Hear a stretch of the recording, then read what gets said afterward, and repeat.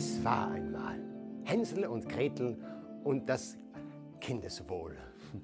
Wer kennt sie nicht? Die Geschichte von Hänsel und Gretel, vor allem seit dem großartigen Film Hänsel und Gretel ähm, Hexenjäger. Ähm, wahlweise auch die, Kindes, äh, die Kindheitserinnerung anzapfen. Ähm, ich möchte ganz kurz Hänsel und Gretel wiederholen, dass alle auf derselben Seite sind. Und du wirst, sie dann, ähm, du wirst dann das juristische Buch durchblättern.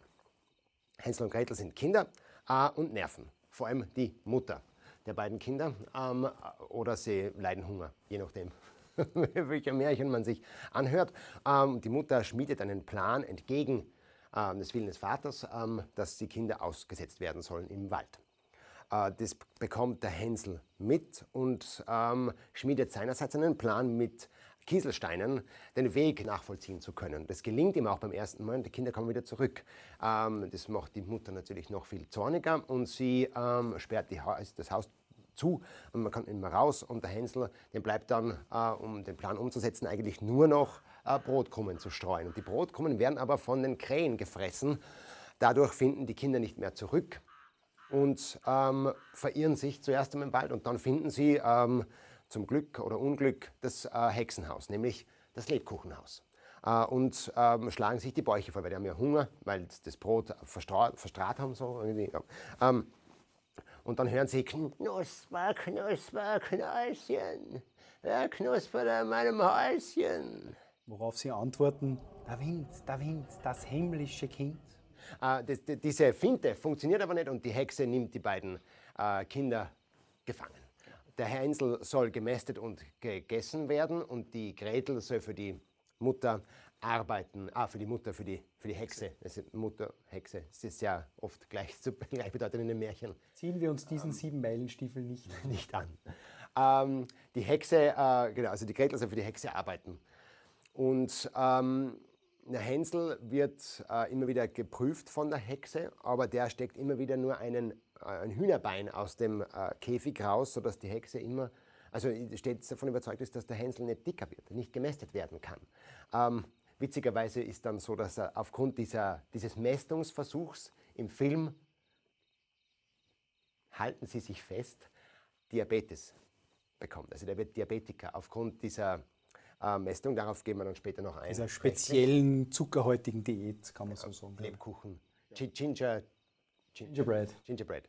Ähm, und also es ist jetzt jedenfalls so, die, die, irgendwann ist die Hexe halt einfach, ähm, hat genug und sagt, ich esse jetzt den Hänsel, aber noch nicht. Also Mogere. Also Mogere, äh, egal, ich habe einen Hunger. Ähm, sperrt den Käfig auf und möchte ihn in den Ofen stecken, um ihn dort eben zu kochen. Aber Gretel und Hänsel übermannen die Hexe und stoßen sie ihrerseits in den Ofen. Die verbrennt, ist äh, quasi eine gewesene. Und Hänsel und Gretel können fliehen, äh, finden viele Reichtümer, oder nehmen das ganze Lebkuchenhaus mit, äh, kommen nach Hause zum Vater, finden den Weg zurück. Die Mutter ist äh, Gott sei Dank nicht mehr da. Wahrscheinlich ist sie davongelaufen oder gestorben. Und die, oder es ist ein Märchenprinz vorbeigekommen. Und hat sie mitgenommen aus irgendeinem Grund. Ähm, ich habe nicht gewusst, dass sie um die Ecke Schneewittchen war oder Rapunzel. Dazu aber später. Dazu später. Äh, jedenfalls ist es so, dass halt dann Vater, Hänsel und Gretel ähm, mit Lebkuchen und äh, glücklich leben können. Und wenn sie nicht gestorben sind, dann ähm, rätseln sie noch heute über die rechtlichen Aspekte dieses Märchens. Ganz genau, weil Was abgesehen. Überleitung. Wahnsinn. Abgesehen davon, ob man als Hexenjäger eine Gewerbeberechtigung braucht. Ähm, ist ein reglementiertes Gewerbe. Ähm, Kammerjäger, Hexenjäger, möglich, möglich. Analogie. Möglich, ist ja. rechtliche Analogie. Ja. Mhm. Ähm, aber trotzdem müssen wir uns einmal mit einer Sache beschäftigen, nämlich dem sogenannten Kindeswohl. Äh, wir sind uns einig, dass Kinder in den Wald aussetzen, auch wenn man Hunger leidet, nicht unbedingt die beste erzieherische Methode ist.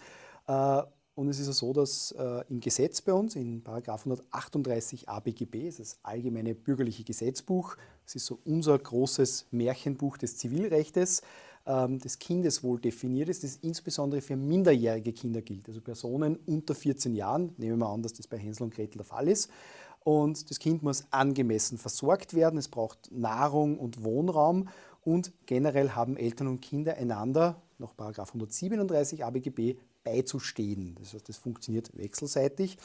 Und nach 159 ABGB hat der Obsorgeberechtigte, das sind in der Regel die Eltern, alles zu unterlassen, was dem Kindeswohl schadet. äh, ja, das Aussetzen der Kinder im Wald, selbst bei innerfamiliärem Hunger, ist einfach ein Problem, ist, wie wir später bei anderen Videos noch hören werden, durchaus auch strafrechtlich relevant, ähm, ist aber auf jeden Fall nicht im Sinne des Kindeswohls.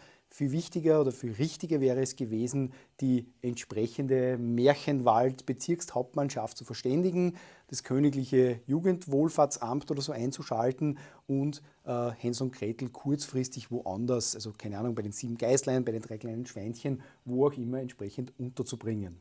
Beim tapferen Schneiderlein. Zum Beispiel Da beim es tapferen Schneider. Marmeladenbrote. Ganz genau.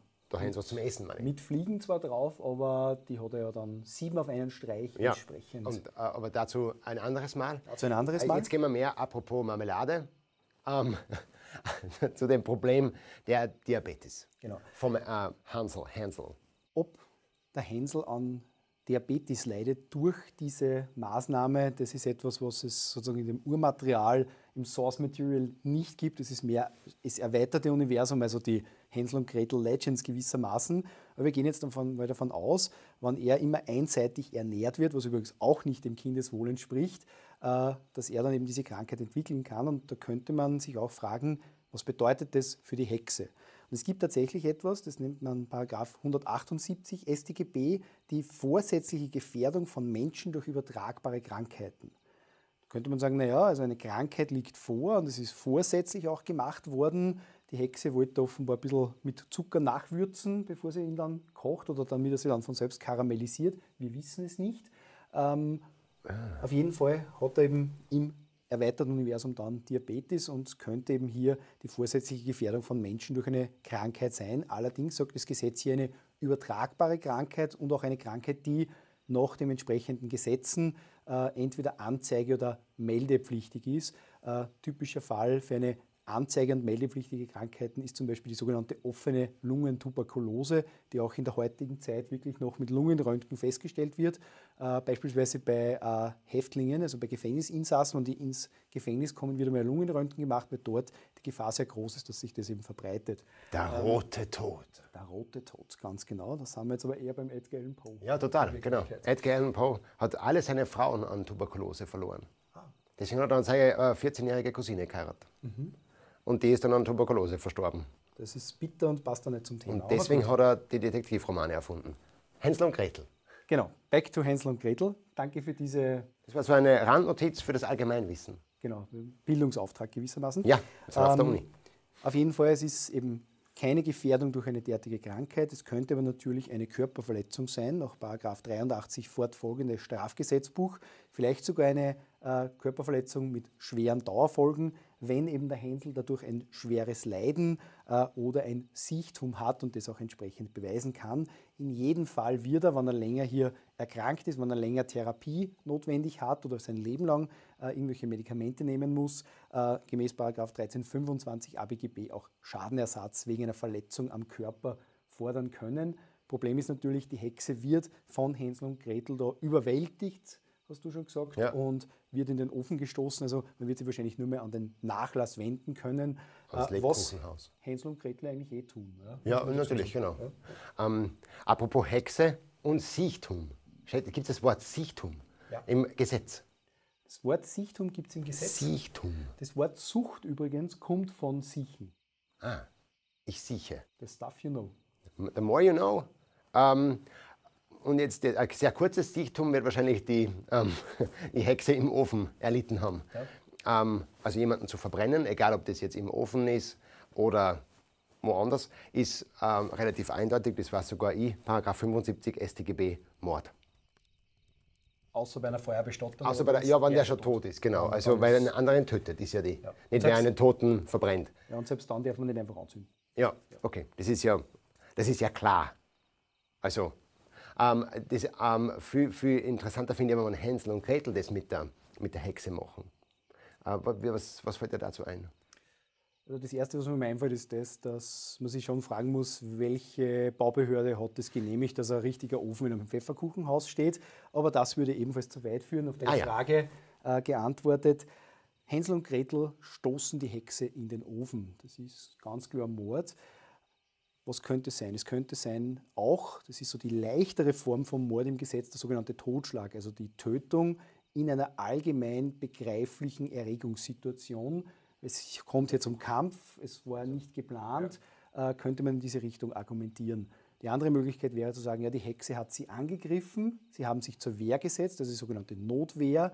Das Problem ist nur, die Notwehr wäre in diesem Fall überschießend, also man hätte sie ja irgendwo gefangen setzen können und nicht gleich in den Ofen stoßen. Das heißt, das wäre eine sogenannte Notwehrüberschreitung, eine exzessive Notwehranwendung und man würde dann auf das Fahrlässigkeitsdelikt, also fahrlässige Tötung kommen, was übrigens rein vom Strafrahmen her einen massiven Unterschied macht, ob es Mord oder fahrlässige Tötung.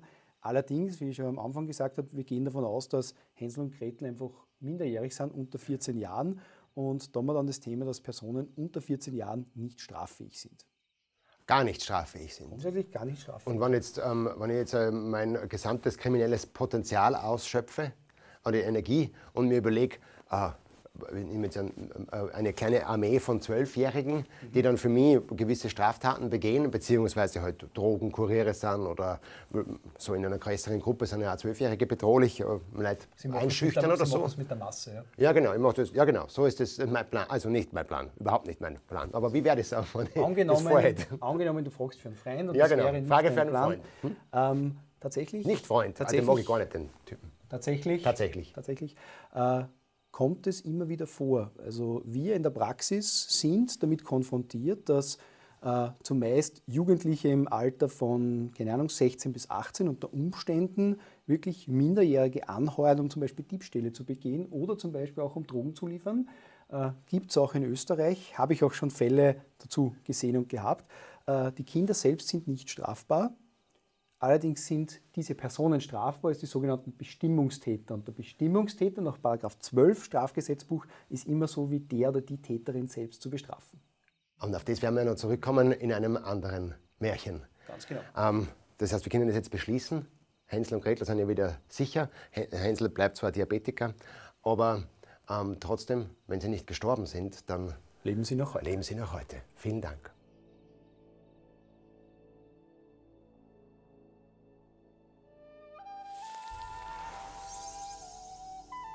Richter. Richter, richt's, ich bitt Sie sehr. Richter, richt's doch bitte wieder her. Richter, richt's, ich kann nicht mehr. Richter, reicht's und richtet, aber fair.